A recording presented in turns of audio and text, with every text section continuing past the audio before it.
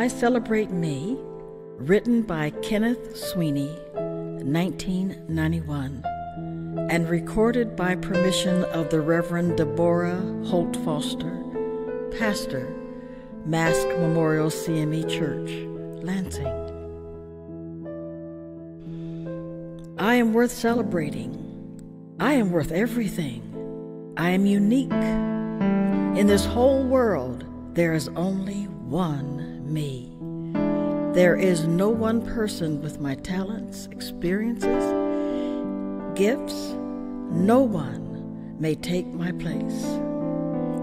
God created only one me, precious in His sight.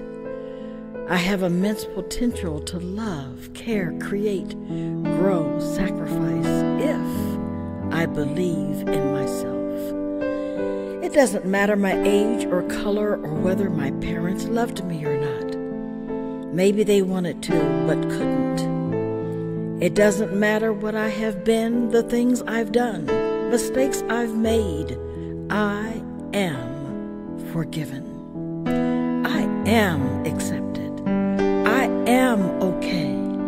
I am loved in spite of everything. So I love myself and nourish seeds within me. I celebrate me. I begin now. I start anew. I give myself new birth today. I am me, and that's all I need to be. Today is a new beginning, a new life given freely. So I celebrate the miracle, and I celebrate me.